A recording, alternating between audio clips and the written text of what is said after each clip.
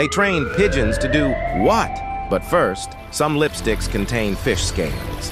Cat urine glows under a black light. The last letter added to the English alphabet was J. Wearing headphones for just one hour can increase ear bacteria by 700 times. And researchers in Tokyo trained pigeons to distinguish a Picasso from a Monet. Are you kidding me?